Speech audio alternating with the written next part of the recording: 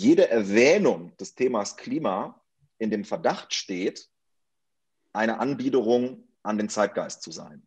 Und ich glaube, dass wir diesen Fehler nicht machen dürfen, denn sonst laufen wir Gefahr, dass in 10, 20, 30 Jahren ein Thema, das noch an Relevanz und an Wichtigkeit und an Aktualität zunehmen wird, dass wir dazu nichts mehr zu sagen haben, weil wir plötzlich Angst haben, dass jede Wortmeldung als Anbiederung an den sogenannten Zeitgeist verstanden wird. Es geht nicht darum, dass sich der Liberale nicht also unterdrückt fühlt und deswegen sagt, nein, Zeitgeist, pfui.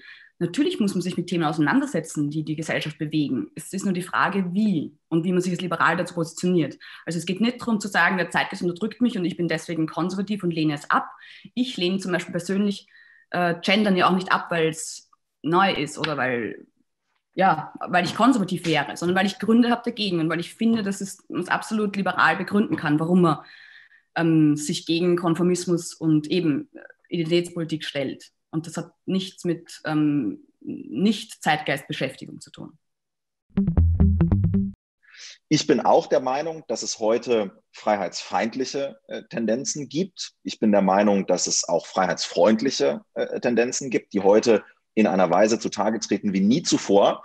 Und dann bin ich der Meinung, dass es sozusagen einfach Themen gibt, bei denen man noch nicht so genau weiß, wie sich das entwickelt, ob die eine freiheitsfeindliche oder eher eine freiheitsfreundliche ähm, äh, Tendenz nehmen. Und ähm, es stimmt, das würde ich auch äh, unterschreiben, dass man als Liberaler genau abklopfen muss, inwieweit ein Thema oder inwieweit eine gewisse Forderung eher der Freiheit zuträglich ist oder der Freiheit abträglich ist oder inwieweit es einfach eine Grundlage ist für weitere Diskussionen.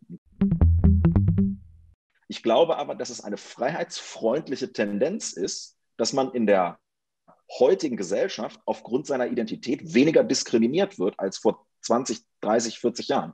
Stichwort sexuelle Identität, Stichwort Hautfarbe. Da gibt es Probleme, aber es ist doch besser geworden in unserer Gesellschaft. Und das zu unterstützen und das positiv zu betonen, das ist, glaube ich, eine, eine Aufgabe für Liberale. Und insofern ist es eine Aufgabe für Liberale, dass Menschen ihrer eigenen Identität nachkommen wollen. Insofern ist die Auseinandersetzung mit Identität nicht per se äh, freiheitsfeindlich oder illiberal, sondern man, man kann das schon machen. Und